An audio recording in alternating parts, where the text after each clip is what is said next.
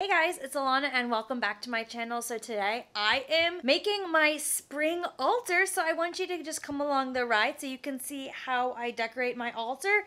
And I'll just kind of show you a couple things that you can do if you want to create your altar for the very first time. So let me show you what my altar looks like currently. So this is what my altar looks like at the moment. It's still decorated from like Christmas time and Yule and I believe Imbolc, which is already passed. So now I need to make this look like spring. So let's go ahead and declutter everything and reorganize it so it looks more colorful.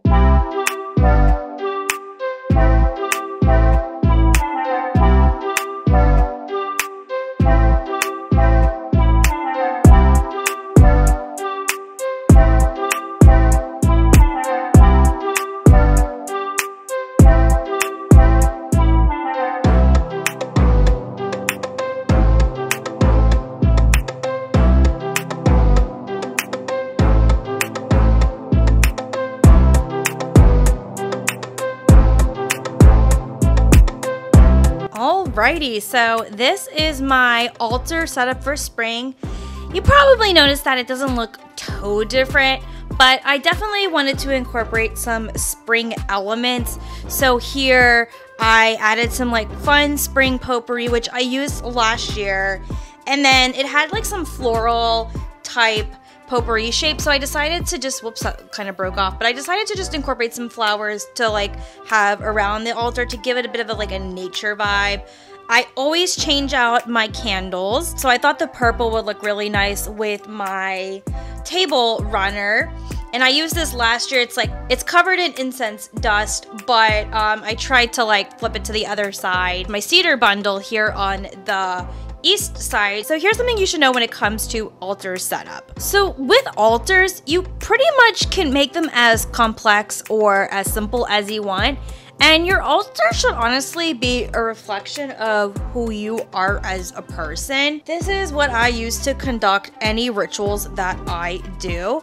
I do believe that altars should have the following I think they should have candles, incense, they should have like a little bell or something for sound cleansing. Basically, they're supposed to be something that like represents liquid so I just use a little goblet here and you can do some like dried fruit, which is technically this is a dried fruit potpourri. You don't have to do that. Crystals, sage, what else? You can do tarot cards here. I personally feel like I don't have enough room for my tarot cards, so that's why they're up there. Altars, when they're used in like everyday practice, I do know that basic altars are catered to the four directions, north, south, east and west. It's important that you are able to identify the directions. So thankfully, like I know that I have a northwest facing window, so I'm able to tell that this is north. You can also use like the compass on your phone to determine what directions are what. So mine is pretty much easy um, as you typically would know it north, south, east, west. So there are different things that you put in the different directions. Let's just start with east, which is this section right here represents air. So every direction represents the elements.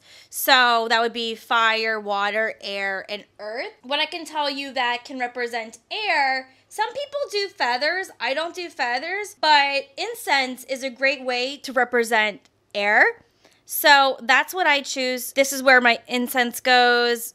And right here, which would be for like powder incense that I would put on a hot charcoal tab. And then on the western side of the altar, you have water. With water, it's simply just like a goblet of water. I don't put any water in here unless if I'm doing a spell, but I do have like the goblet that represents what water would be. So then for the northern part of the altar, it represents earth. So this is about like nourishment. So stones, so like crystals is a really good example. And then I also decided to do some potpourri where it has like flowers, even though they're not real, and just these fun little stones and fresh fake fruit or whatever.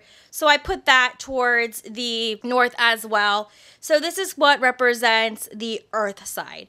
And then for the south side, it represents fire. So candles go here. I should move that and I'll move that around. So that is where I put my candle. I may move it to the side when it's lit just because I'm always afraid it's going to fall off my altar.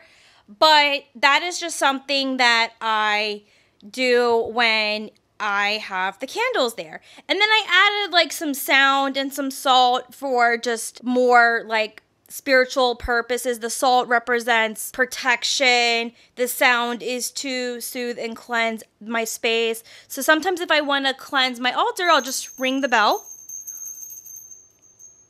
and now the altar is cleansed. The sage also, or sorry, the cedar bundle could also go there too because this represents earth, but just for the sake of how I set it up in my room, in the room that I have, I just put it here. It doesn't have to be perfect, but as you can see, I do have all of the elements represented in the respective cardinal directions that they're supposed to be in. So yeah, this is my spring altar. Let me know in the comments on below if you plan on decorating for spring. I will say spring is my least favorite season, but I am looking forward to longer days.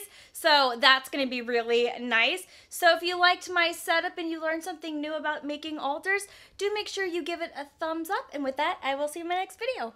Bye!